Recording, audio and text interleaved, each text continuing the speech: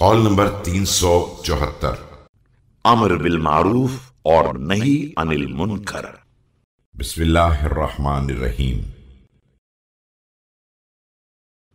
بعض لوگ منکرات کا انکار دل زبان اور ہاتھ سب سے کرتے ہیں تو یہ خیر کے تمام شعبوں کے مالک ہیں اور بعض لوگ صرف زبان اور دل سے انکار کرتے ہیں اور ہاتھ سے روک تھام نہیں کرتے ہیں تو انہوں نے نیکی کی دو خسلتوں کو حاصل کر لیا ہے اور ایک خسلت کو برباد کر دیا ہے اور بعض لوگ صرف دل سے انکار کرتے ہیں اور نہ ہاتھ استعمال کرتے ہیں اور نہ زبان تو انہوں نے دو خسلتوں کو ضائع کر دیا ہے اور صرف ایک کو پکڑ لیا ہے Another saying in the the same strain runs as follows.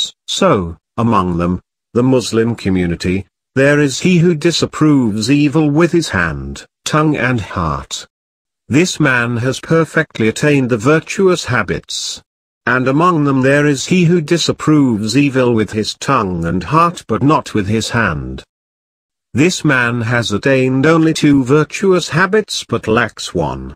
And among them there is the third one who disapproves evil with his heart but not with his tongue and hand. This is the one who lacks the two better qualities out of three and holds only one. اور بعض وہ بھی ہیں جو دل زبان اور ہاتھ کسی سے بھی برائیوں کا انکار نہیں کرتے ہیں تو یہ زندوں کے درمیان مردہ کی حیثیت رکھتے ہیں اور یاد رکھو کہ جملہ اعمال خیر میں جہاد راہ خدا امر بالمعروف اور نہیں انل منکر کے مقابلے میں وہی حیثیت رکھتے ہیں جو گہرے سمندر میں Then, among them there is also he who does not disapprove evil either with his tongue, heart or hand. He is just a dead man among the living. All the virtuous deeds including war in the way of Allah as compared to the persuasion to good and dissuasion from evil are just like spitting in the deep ocean. और नेकी का हुक्म देना और बुराई से रोकना ऐसा नहीं the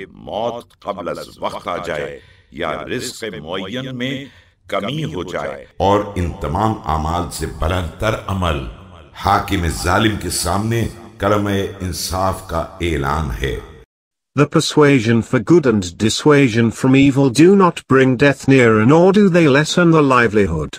And better than all this is to utter a just expression before a tyrannical ruler.